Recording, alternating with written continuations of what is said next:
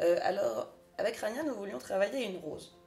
Et, et donc, étant, le, sujet étant matière libre, fallait absolument trouver quelque chose d'impactant, d'original.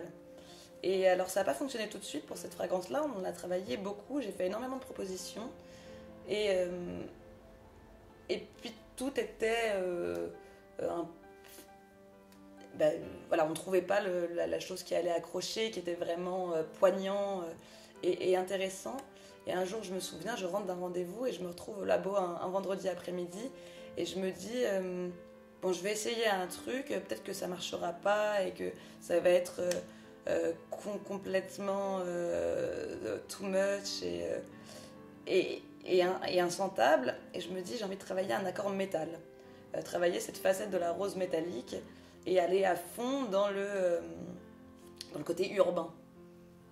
Et, et donc j'ai sorti toutes les matières de, de l'orgue qui avaient des notes métalliques, stridentes, presque désagréables, ferreuses.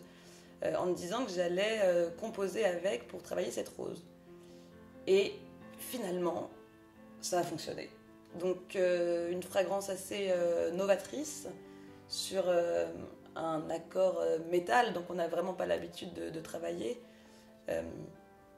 avec des facettes un peu épicées, en sang, élémie, légèrement poivré, et un fond très structuré bois un peu d'ébène, bois sombre, et une facette cuirée qui rejoint la note végétale de la rose naturelle, de l'essence naturelle de rose, euh, qui lui donne cette assise aussi euh, euh, très forte et, et à la fois confortable, profonde, presque mystérieuse.